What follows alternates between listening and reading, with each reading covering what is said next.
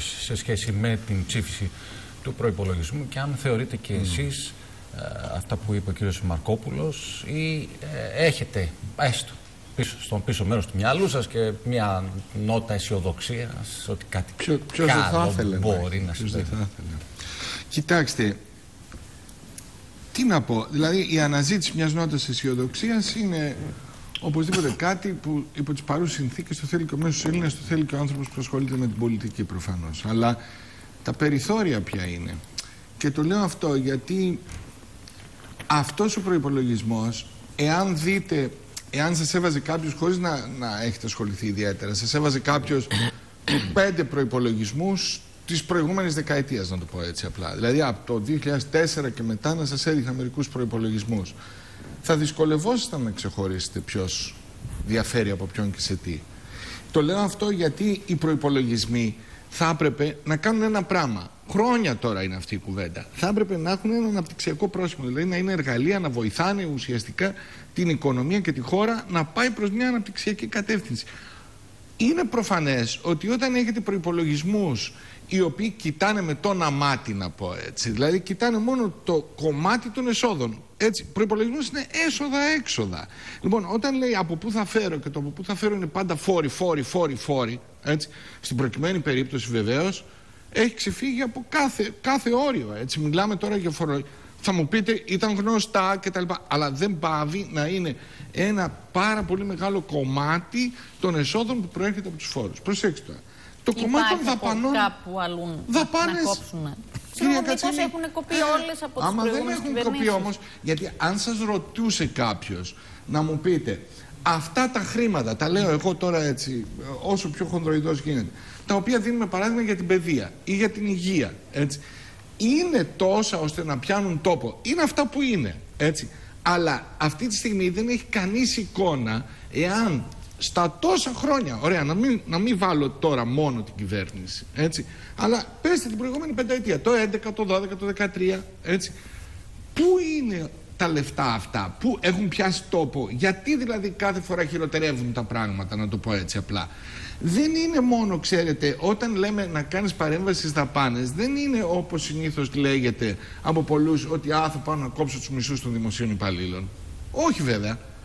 Είναι όλο εκείνο το κομμάτι που μπαίνει η γραφειοκρατία, είναι όλο εκείνο το κομμάτι που παρεμβάλλεται το κράτος στην οικονομία και δημιουργεί τα προβλήματα.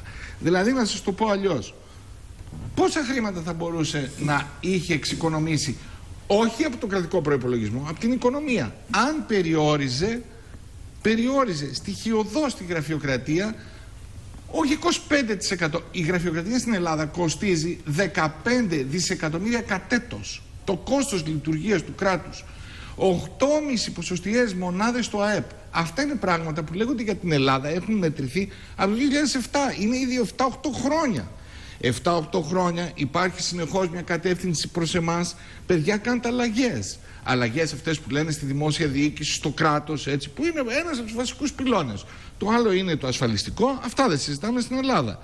Λοιπόν, αυτό λοιπόν με το κομμάτι της δημόσιας διοίκησης παραμένει μια, μια σκοτεινή περιοχή. Δηλαδή κάτι πρέπει να κάνουμε, αλλά τι πρέπει να κάνουμε; Και το τι πρέπει να κάνουμε είναι μπροστά μας. Δηλαδή, αν αυτή τη στιγμή απλούστευε κανείς λίγο τις διαδικασίες, θα σας πω κάτι. Ένας άνθρωπος πάει να ανοίξει μια επιχείρηση. Λέμε τώρα ότι στενάζει, υποφέρει ο κόσμος, βεβαίως. Αυτή τη στιγμή λοιπόν, στα 100 ευρώ που ένας άνθρωπος θα κερδίσει από τη δουλειά του, ξέρουν όλοι τα 46-47 τα πληρώνουν για φόρους και για ασφαλιστικές εισφορές. Σωστά. Άρα έχει χάσει περίπου τα μισά. Για να της στήσει την επιχείρηση, ξέρετε πόσα λεφτά θέλει. Αυτό το κόστος λοιπόν, το οποίο είχε εκτιμηθεί πριν από δύο χρόνια, εγώ σας λέω τα στοιχεία και είμαι, έχω, είμαι σίγουρος ότι είναι χειρότερα τώρα, ξεπερνούσε τα 1600 ευρώ. Μόνο για σύσταση και λειτουργία. Προσέξτε, δεν σας λέω μετά συνέχεια τους ελέγχους, όλα αυτά τα πράγματα που γίνονται. Αυτά είναι τα λιγότερα. Και Τουλάχιστον αυτά, ότι αυτά είναι δεν τα θα μπορούσε σε να τα αποσύρει. Με τις προκαταβολές που πρέπει να πληρώσει φόρου, με τις ασφαλιστικές εισφορές από την πρώτη προφανώς. μέρα κλπ. Προφανώς. Αλλά εγώ να, πάρω, να πάω με τη λογική της κυβέρνησης. Να πω δηλαδή ότι είναι υποπίεση, είναι το δημοσιονομικό πρόβλημα κτλ. κτλ. Α, να τα αφήσω το προφανές. Το προφανές είναι η κακή διαπραγμάτευση, όλα αυτά τα πράγματα. Αλλά να μείνω σε αυτό. Έμα δεν κάνεις κάτι για να ελαφρύνεις τον κόσμο της εργασίας, δεν κάνεις κάτι για να βοηθήσεις την οικονομία. Αν μπορεί να κάνεις κάτι, είναι να ξαναδεί το κομμάτι των δαπανών και να δει πού μπορεί να περιμαζέψει, τι μπορεί να περιμαζέψει. Διότι προσέξτε κυρία Κατσίνη, ποτέ σε χώρες που είχαν κρίση δεν υπήρξε περίπτωση που να μην έγινε αναδιάρθρωση των δαπανών. Η μόνη χώρα είναι εδώ. Δηλαδή, ερχόμαστε τώρα λέμε, θα κόψω μερικά εκατομμύρια από την παιδεία. Κόβει 5% αυτός ο προπολογισμό.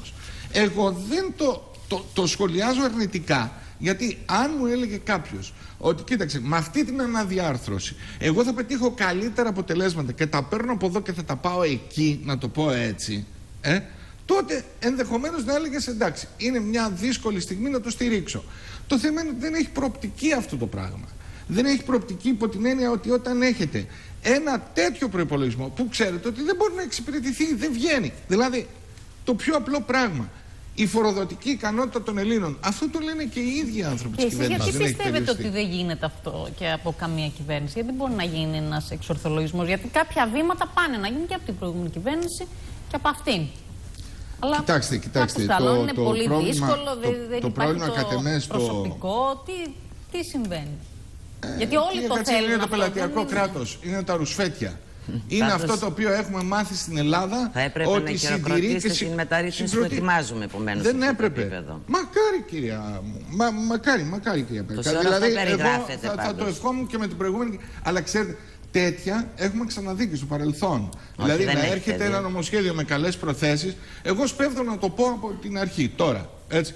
Το σχέδιο νόμου το οποίο έχει δοθεί τώρα στη διαβούλευση που αναφέρθηκε και η κυρία Πέρκα σίγουρα έχει θετικά στοιχεία.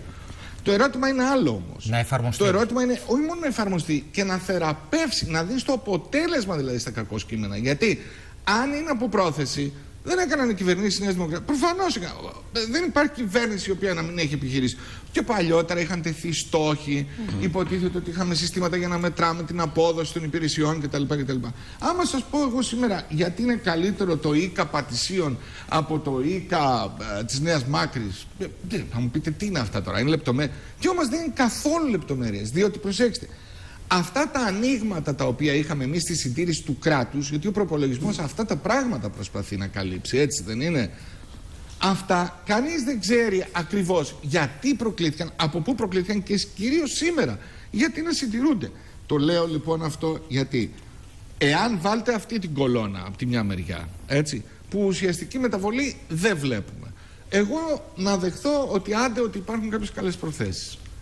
Απ' την άλλη πλευρά, έρχεται και το ασφαλιστικό, το οποίο είναι ένα πρόβλημα, το οποίο είναι γνωστό ότι πηγαίνει ανά τα έτη ουσιαστικά, με λάθη και παραλήψεις όλων όσων κυβέρνησαν. Έτσι. Αλλά αυτή τη στιγμή έχουμε φτάσει στο και ένα και το μόνο που ακούμε είναι εξαγγελίες ότι κοιτάξτε, θα φέρω ένα σχέδιο νόμου το οποίο θα προσπαθεί να μην μειώνει τις κύριες συντάξεις. Αυτό. Όταν στον ίδιο τον προπολογισμό 850 εκατομμύρια. Έτσι. Και μείωση επιχορήγηση 0,5 δις περίπου ετησίω. Έτσι. Λοιπόν, το λέω αυτό διότι είναι δεδομένο ότι αν δεν αλλάξεις ρότα, αν δεν δεις δηλαδή το αναπτυξιακό κομμάτι. Αναπτυξιακό κομμάτι σημαίνει και μείωση των σπατάλης και μείωση του κράτους και δουλειές προποθέσει να δημιουργηθούν δουλειές. Αν δεν δημιουργηθούν δουλειές, δεν υπάρχουν. Εμείς δεν έχουμε κυβέρνηση. Οπότε... Επειδή δεν έχετε κυβέρνηση. Δεν... Και κύριε Καρκατσούλη, θα παρακαλούσα πάρα πολύ. δεν είστε, γιατί και εσείς Θα παρακαλούσα πάρα πολύ και θα παρακαλούσα όλους σε αυτό το πάνελ να συζητήσουμε λίγο, γιατί αυτό ενδιαφέρει τον κόσμο. Και αυτά είναι και τα μηνύματα τα οποία έρχονται καθημερινά. Ότι θα σταματήσετε να λέτε ποιος ήταν ο χειρότερος και να μας πείτε τι θα κάνουμε από σήμερα και μετά για να βρούμε δουλειές, για να μπορέσουμε να πληρώσουμε τις υποχρεώσεις μας, να είμαστε συνεπείς απέναντι στο κράτος και να αισθανόμαστε πολίτες όχι τουλάχιστον, να λένε λέμε πρώτης κατηγορίας, αλλά να είμαστε και τελευταίας κατηγορίας πολίτες. Κοιτάξτε, αυτά, αυτά είναι τα θέματα τα οποία υποτίθεται ότι θα έπρεπε να έχει κάθε κυβέρνηση μπροστά της προκειμένου να τα λύσει, έτσι δεν είναι. Άρα λοιπόν το ότι τίθενται τα θέματα και τίθενται με τέτοια έμφαση σημαίνει πολύ απλά ότι υπάρχουν και ότι είναι άλυτα. Από εκεί και πέρα το να υπάρχουν διαξυφισμοί και των πρώην που κυβέρνησαν και των ίν που κυβερνούν ε, ποιος έκανε μια προσπάθεια. Εγώ δέχομαι ότι προσπάθειες έχουν κάνει όλες οι κυβερνήσεις. Αλλά το θέμα είναι ότι τα μεγάλα βαριά προβλήματα του τόπου είναι εκεί. Τα ελλείμματα και ο τρόπος δηλαδή που παρήγαγε το κράτος ελλείμματα και φτάσαμε σε ένα σημείο να υπάρχει ο υπερδανισμός, να υπάρχει υπερχρέωση να μπούμε σε αυτά τη διαδικασία των μνημονίων είναι μια πραγματικότητα. Άρα λοιπόν επειδή μας αρέσει στην Ελλάδα πάρα πολύ να μιλάμε για ευθύνες, είναι οι ευθύνες εκεί. Αλλά το θέμα είναι πώς βγαίνεις από αυτό. Και άμα με ρωτάτε λοιπόν πώς βγαίνεις, υπάρχουν πια συγκεκριμένα πράγματα που πρέπει να κάνει κάποιος για να βγει από εκεί. Και για να κάνεις συγκεκριμένα πράγματα να βγεις από εκεί, πρέπει, εάν υποθέσουμε ότι σε ενδιαφέρουν οι δουλειές, γιατί όλοι γι' αυτό συζητάμε, έτσι, πώς θα ανοίξει η οικονομία, θα πάρει μπρος, να δημιουργηθούν θέσεις. Ωραία. Σας παρακαλώ πολύ, επειδή λέμε τώρα για άμεσες ξένες επενδύσεις, λέμε προφανώς από επενδύσεις. Προφανώς. Όσο και αν τις βοηθήσεις δημόσιες δαπάνες, Άρα λοιπόν για αυτές τις περίφημες επενδύσεις, αν κοιτάξει κάποιος σήμερα, το ξαναλέω, την κατάσταση, τι σημαίνει απονομής τη δικαιοσύνης. Ορίστε να φύγουμε. Λέμε συνέχεια για τους φόρους. Και... Ωραία. Εγώ σας λέω λοιπόν ότι έρχεται ένας άνθρωπος εδώ, βάζει τα λεφτά του, έχει μια διαφωνία με το κράτος, πάει στα δικαστήρια. Πέστε μου σας παρακαλώ, πότε τελειώνει ο μέσος χρόνος που τελειώνει μια υπόθεση που έχεις με το κράτος. Διαφορά, διοικητική διαφορά. Συμβούλιο Επικρατείας, 5,5 χρόνια. Στην καλή περίπτωση. Διοικητικά πρωτοδικεία Αθήνα, Πειραιά, Θεσσαλονίκη, τρία χρόνια.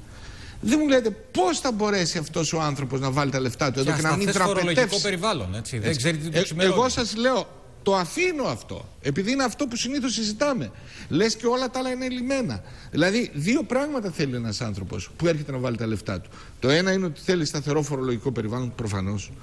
Αλλά ο άνθρωπος αυτός δεν θέλει εκεί που έβαλε τα λεφτά του και ας πούμε έκανε μια επένδυση να ξέρει ότι αυτό το κομμάτι είναι κομμάτι για επένδυση. Το λέω αυτό διότι το περίφημο κτηματολόγιο, κύριε Δάρα, επί 20 αιτία και σέρνεται. Προφανώς δεν ζητάει κανείς από την κυβέρνηση του ΣΥΡΙΖΑ να το έχει τελειώσει χτες ή πριν από τρεις μήνες. Αλλά το ερώτημα είναι, πότε, πότε ρε παιδιά θα τελειώσει αυτό; Έλεος. Δηλαδή, μιλάμε τώρα για εντελώς στοιχειώδη πράγματα. Για τον τομέα της δικαιοσύνης. 11 χρόνια σερνόταν αυτό το περίφημο e-justice. Το e-justice τι είναι, να είναι ηλεκτρονική φάκελη. Να μην κάνει πέντε χρόνια δηλαδή. Έτσι. Να μην είναι όλη αυτή η διαδικασία των μαρτυρικών. Λοιπόν, αλλά αυτά, κοιτάξτε, όχι μόνο δεν προχωράνε, είναι εκεί παγωμένα και ακίνητα. Και το λέω αυτό πραγματικά με στενοχώρια, με την έννοια ότι περιμένει κανείς από μια νέα κυβέρνηση, περίμενε, έτσι, με ορμή και τα λοιπά, να πάμε στο επόμενο βήμα. Αυτά είναι τα θέματα. Δηλαδή, να μην λυθούν οι χρήσεις γης, να μην λυθούν. Τι να σας πω. Λέμε τώρα για τον υπερδανισμό, λέμε για τι. Πείτε μου, σας το πτωχευτικό. Εγώ σας λέω θέλω να φύγω από τους φόρους. Τελείως. Έτσι. Πετε μου πώς τελειώνει μια ιστορία που λέγεται πτώχευση στην Ελλάδα. Δεν υπάρχει πιο δραματική ιστορία. Mm. Ένας άνθρωπος που θα μπει σήμερα στον Τηρεσία, πείτε μου ποιος δεν έχει δυσκολίες και ποιος δεν θα μπει. Έτσι. Πότε θα βγει από εκεί; Ξέρετε ποιος είναι ο μέσος χρόνος που βγαίνει από εκεί; Δυόμιση-τρία χρόνια. Καταστροφή. Δεν πρέπει να δούμε αυτά τα κομμάτια δηλαδή.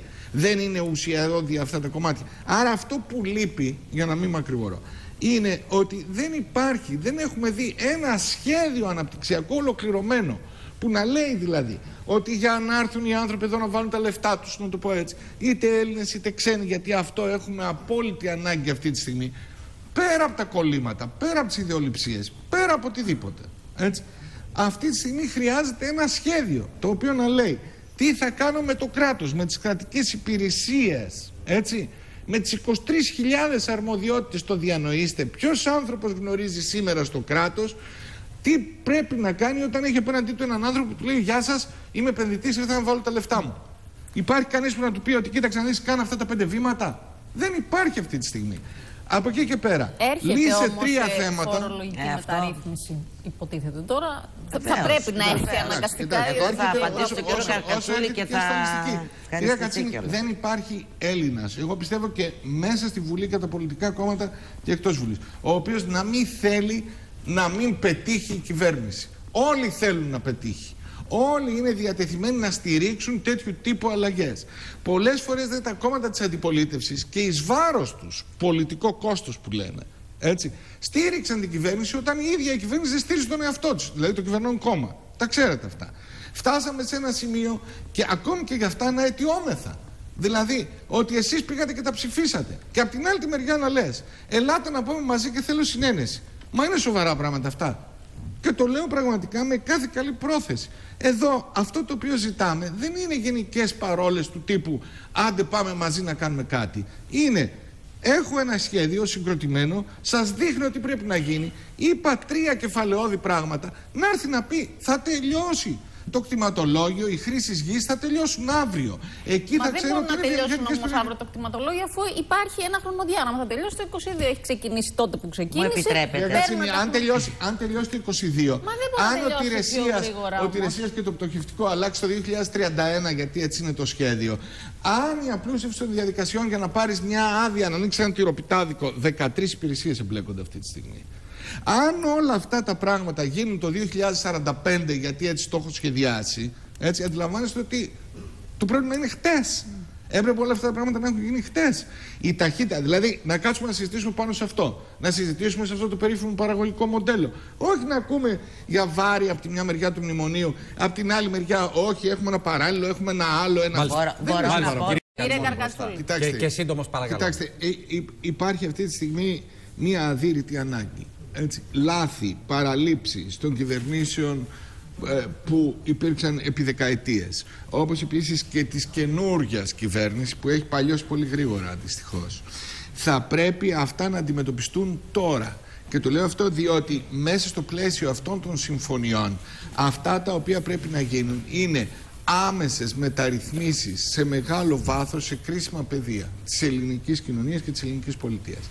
Εάν αυτά δεν γίνουν επειδή η κατάσταση συνεχώς εκτραχύνεται. Δηλαδή δεν βγαίνουμε ουσιαστικά από αυτό το σπιράλ της κρίσης και πλέον η κρίση δεν είναι μόνο αυτά τα οποία συζητάμε, οι προπολογισμοί οι οποίοι αυξάνουν τους φόρους. Είναι οι άνθρωποι που φεύγουν, οι παραγωγικές δυνάμεις που λείπουν, η αποδιάρθρωση πια του κοινωνικού ιστού προβλήματα τα οποία έρχονται πια είναι νέα υποτίθεται προβλήματα αλλά εν πάση περιπτώσει είναι πολύ απειλητικά μέσα στο οποίο είναι τα προβλήματα των προσφύγων, των μεταναστών όλο αυτό το πράγμα που γίνεται στην περιοχή μας. Άρα λοιπόν ουσιαστικά μέσα σε μια πολύ δύσκολη συνθήκη πρέπει να προωθηθούν μεταρρυθμίσεις. Η αντιπολίτευση και το ποτάμι, το κόμμα δηλαδή που είμαι εγώ, θα στηρίξει και στήριξε πάντοτε εμπράκτο και με προτάσεις και με τις τάσεις μέσα στη Βουλή, με όση δύναμη έχουμε τέτοιου τύπου αλλαγές. Αρκεί να γίνουν όμως και αρκεί να προωθήσουν